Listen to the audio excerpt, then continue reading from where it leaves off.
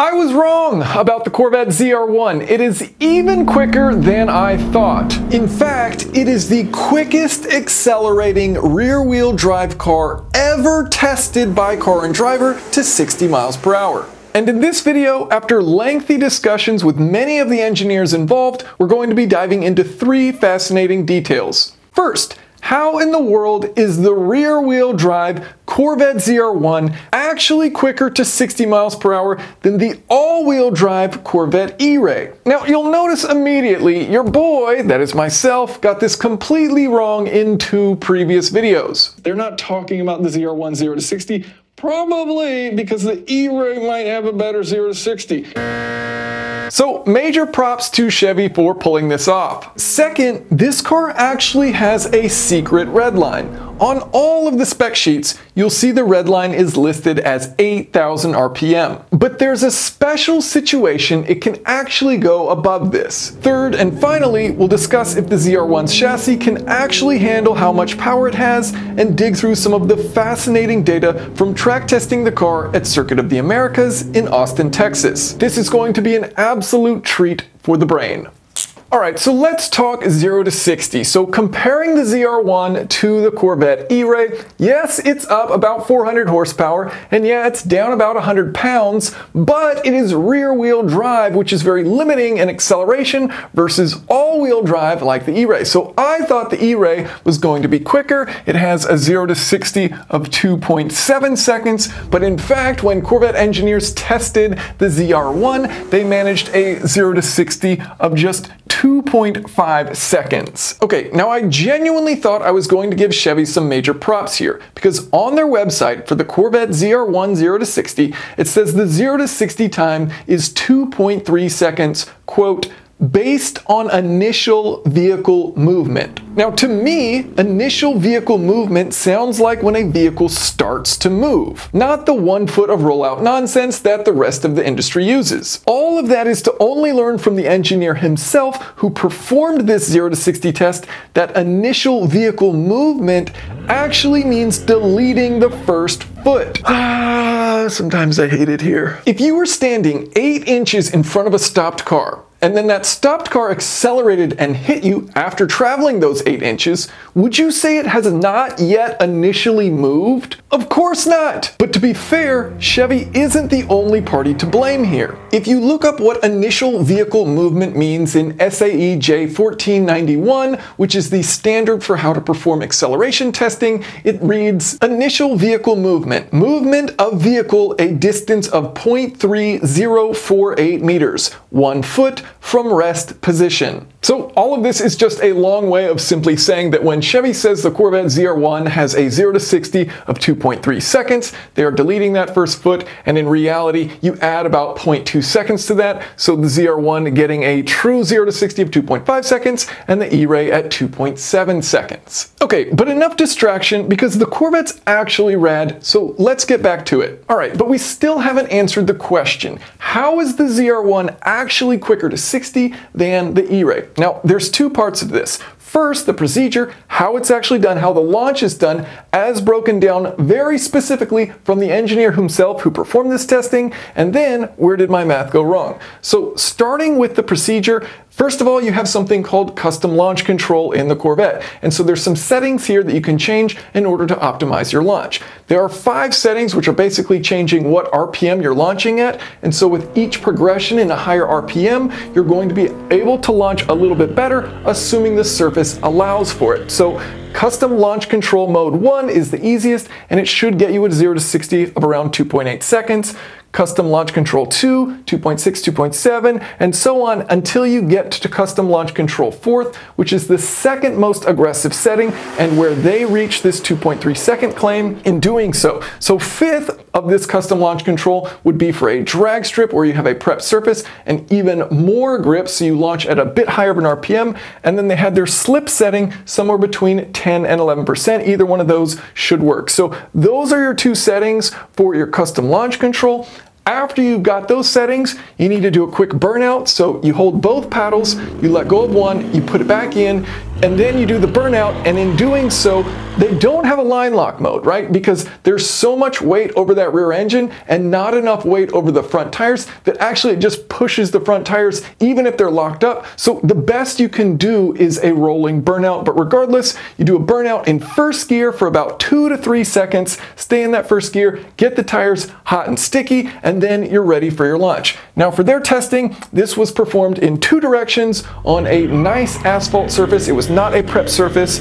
Uh, and then what's controlling the launch, once you release that brake pedal, you've got a foot on the gas, foot on the brake pedal. Once you release that brake pedal, what's happening is the clutch is controlling that initial launch. So you're going to have some slip in the clutch, allowing you to dig out from zero miles per hour, start accelerating, and they say that the ZR1 is on the true edge of these tires grip for the entirety of that 0 to 60 pull. Very cool. Now, this is obviously not true for the E-Ray, right? If the E-Ray was on the limit of both the front and rear tires grip, it would have a quicker 0 to 60 time. Also worth mentioning, they do this test in two directions and then take the average of it. One of them, they actually got a tenth quicker than that 2.3, uh, so 2.2 with rollout, and so they believe it actually is possible to go slightly quicker than that claim. Now, as far as the tires used, there's two options on the ZR1. You've got a sport tire on the base, base ZR1, and then you've got the cup tire. Now, with the cup tire, that's what they were using in order to get this better but they actually believe it's possible with both. The only caveat there being they said if you start to slip with the sport tire, it never recovers. It simply can't be done. So it has to be absolutely perfect the whole way down. That 0 to 60 versus the cup tires are a bit more forgiving and a bit easier to nail that better time. All right, so where did my math go wrong? Well, let's get into it. Now, here's our equation that's governing how quickly a vehicle can accelerate from 0 to 60, basically looking at maximum Gs that that vehicle could provide. And previously, I estimated that for the Corvette to peak out at about 0.99 Gs, giving it a 0 to 60 of 2.76 seconds. Now, the three biggest variables that are part of this equation, assuming you have plenty of power, which the ZR1 obviously does, first of all, weight distribution. The more weight you put on those driven wheels, then of course the better the launch is going to be.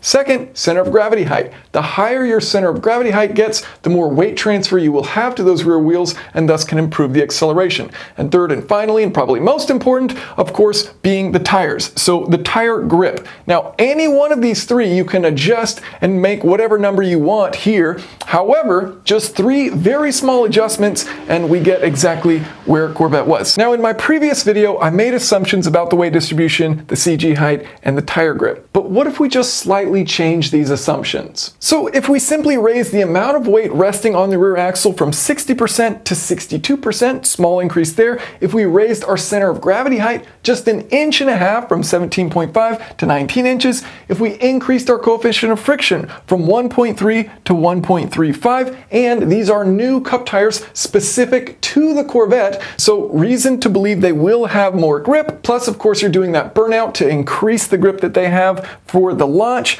And you make these small changes all reasonable to believe, right? Because we've got a turbocharged engine now, so you're adding some components and weight to the rear of the car, potentially raising that CG slightly. And that gives you very easily 1.1 Gs of acceleration or 0 to 60 in 2.5 seconds. Exactly what it is doing. So it is not that difficult to find a scenario in which, yes, this is a realistic number. I absolutely believe that they have done it. Now let's move on to the top speed discussion. And keep in mind, the Z06's naturally aspirated 5.5 liter V8 engine was able to rev to 8600 RPM, while the ZR1's engine doesn't go quite so high, but still hits a very respectable 8000 RPM, except for one scenario where it can go higher. Alright, so the official redline of the Corvette ZR1 is 8,000 RPM, but when it hits its top speed of 233 miles per hour, it can rev up to 8,100 RPM. What? What's going on here?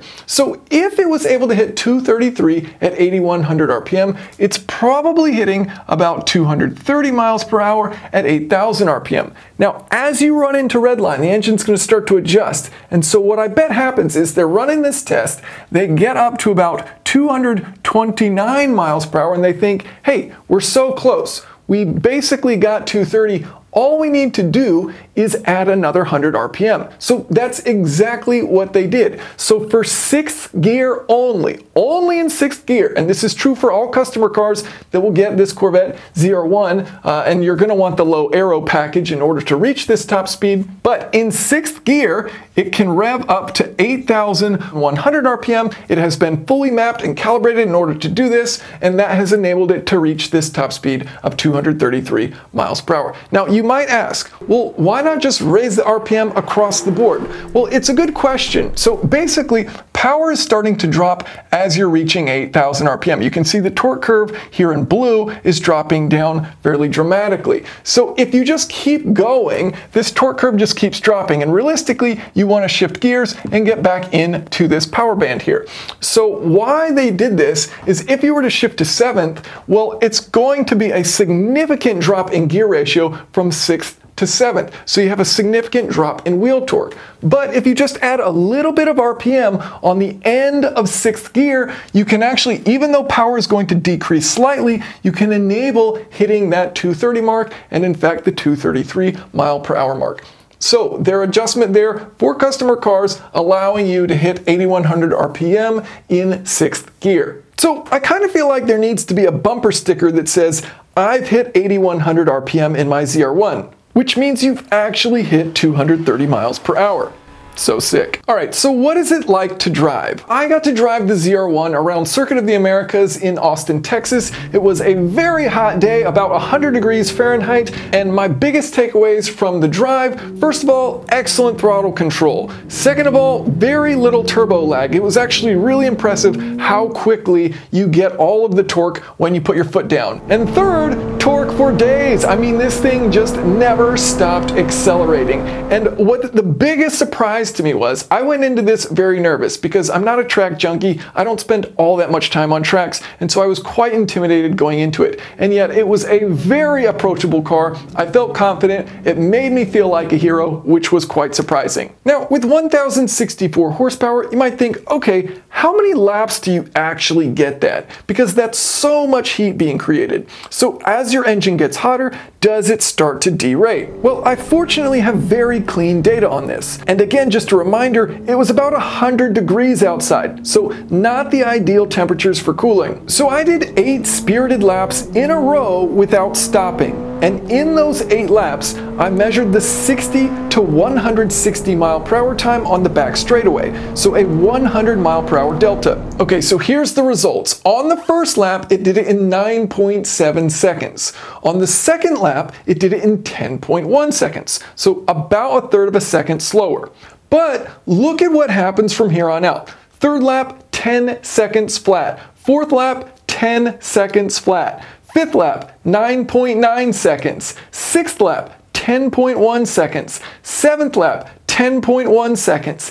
Eighth lap, 10.1 seconds. So in my eighth and final spirited lap, it did the exact same 60 to 160 mile per hour time as it did on the second lap. Now it is worth mentioning, this car at wide open throttle can use two gallons of fuel in a minute. So there was a meaningful fuel load difference between my first and eighth laps. So while the times are consistent, the vehicle did weigh a little less each attempt. Regardless, the acceleration was very consistent in 100 degree ambient temperatures while being pushed fairly hard. So as far as the engine cooling and charge air intercooling, they've done a great job. That is thanks to a grand total of 15 heat exchangers on board the ZR1. And of course, the ZR1 loses the frunk in exchange for the front mounted intercooler and a large engine radiator. And a gurney flap on front of the opening on the hood helps create a low pressure area behind it, sucking out the hot air from the radiator. All right, some other crazy stats. So we were actually able to drive the base Corvette Z51 package, not the ZR1, not the Z06, we're talking base C8 Corvette with the Z51 package and that we drove first around the track to get a feel for it. And I measured my 60 to 120 mile per hour time on this back straightaway in both cars. In the Z51, it did it in 9.3 seconds. In the ZR1, it did 60 to 120 miles per hour in just 4.2 seconds, less than half the time, and I was able to reach a GPS verified top speed on that back straightaway of 175 miles per hour, and that was braking very, very, very early because I'm cautious and don't want to plow ahead, even though there is plenty of runoff. So the thing is crazy, crazy quick. I have driven on plenty of tracks, and usually I never get above about 150 miles per hour.